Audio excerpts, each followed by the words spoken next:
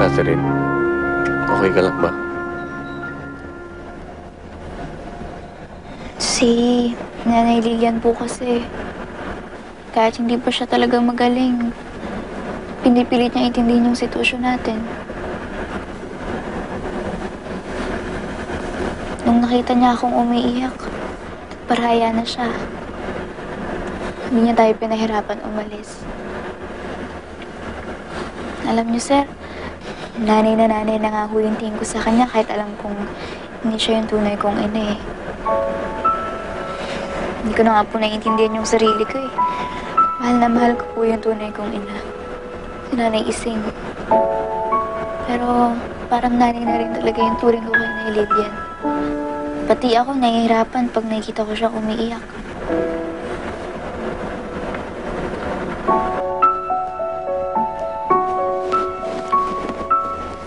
Masyadong problemahin yun.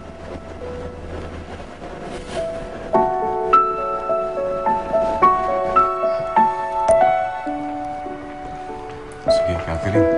Tulog ka na. Sige ho. Sige. Good night.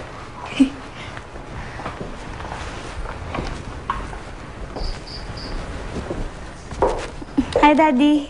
Oh, anak. Bakit? Gising ka pa.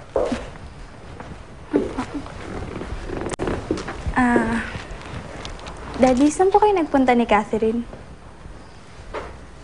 Ah, nadaanan ko kasi siya naglalakad. Kaya sinabay ko na siya pauwi. Ganun po ba? Eh, pwede po ba ako mag-request? Hmm, sure. Ano yun? Pwede po bang huwag muna kayo pumasok sa office niyo bukas? Ha? Ah, bakit naman? Eh, kasi po, gusto ko sanang lumabas tayo eh. Yung tayong dalawa lang. Medyo napapansin ko po kasi na mas madalas niyo pang kasama si Catherine kaysa sa akin. Kuhan kasi anak eh, alam mo... Ah...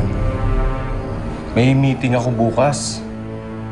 Importante yun, kaya kailangan pumasok ako. Sige na, Daddy. Namimiss lang naman kita eh. Please?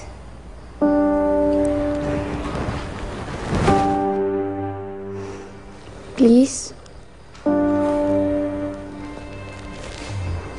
Namimiss na kita eh.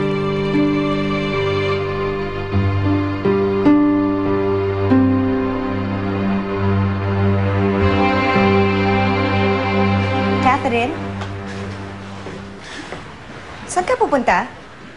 Mm, may, may inutos lang po sa akin si Sir Ferdinand. Really?